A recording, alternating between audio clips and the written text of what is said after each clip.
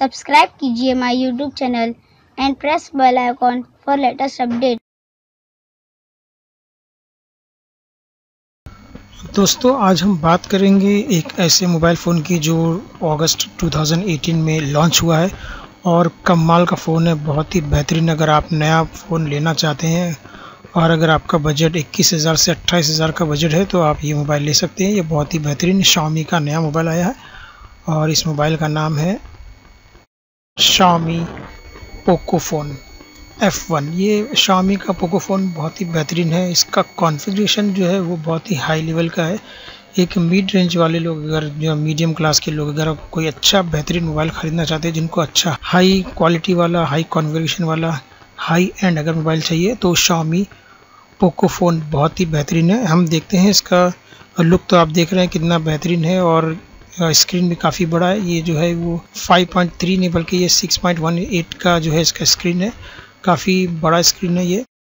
आ, तो हम देखते हैं कॉन्फ़िगरेशन क्या है इसका। शामी पोको फ़ोन F1 तो बात करते हैं कॉन्फ़िगरेशन तो इसका नेटवर्क है G S M H S P L L E T four G network इसमें काम करेगा। और ये लॉन्च हो रहा है 2018 में।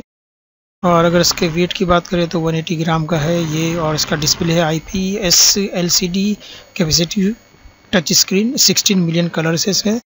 और अगर साइज़ की बात करें तो 6.18 इसका ये 6.18 इंच का है ये। काफ़ी बड़ा, नॉर्मल फ़ोन से काफ़ी बड़ा है ये टैबलेट से थोड़ा कम है।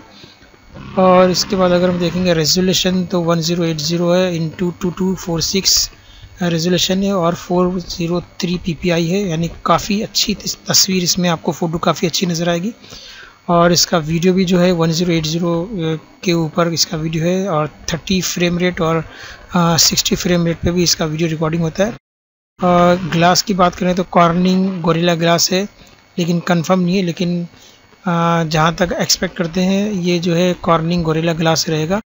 और इसका ऑपरेटिंग सिस्टम हम देखेंगे तो M I U I nine point six है Android eight point one Oreo इसका जो है सिस्टम है। इसके बाद अगर हम देखते हैं तो इस Qualcomm Snapdragon eight four five eight four five जो है, ये चिपसेट बहुत ही कमाल का है और इसके अंदर जो है आ, अगर हम इसकी बात करें तो ये बहुत ही अच्छा स्पीड में चलेगा स्मूथली चलेगा। आप कितना भी हैवी गेम जितने भी आज के जो लेटेस्ट हैवी गेम है ये अगर आप इसमें इंस्टॉल करते तो बहुत ही आराम से इसमें चलेगा। कहीं भी आपको लैगिंग नज़र नहीं आएगा या हैंग नहीं होगा। ये बहुत ही बेहतरीन तरीके से चलेगा क्योंकि इसका चिपसेट बहुत ही हाई कॉन्फिग्रेशन वाला है। और हम देखते हैं सीपीयू जो है वो ऑक्टा कोर है। G P U Adreno six thirty है जो काफ़ी बेहतरीन है। और अगर इस एक्सटर्नल स्टोरेज की बात करें तो two fifty six G B इसकी जो एक्सटर्नल कार्ड सपोर्ट करता है और ड्यूल सिम है। आप टू फिफ्टी सिक्स तक का जो है एक्सटर्नल कार्ड लगा सकते हैं माइक्रो एस डी कार्ड और अगर हम देखते हैं बैटरी तो four thousand M H battery है और एक दिन तक तो आराम से चलेगी। सुबह आप चार्ज करेंगे तो हाँ सुबह के नौ से लेकर रात के नौ बजे तक आराम से बैटरी एक दिन आराम से चलेगी। आपको दोबारा चार्जिंग की ज़रूरत नहीं पड़ेगी और आपके यूज़ के ऊपर भी डिपेंड करता है।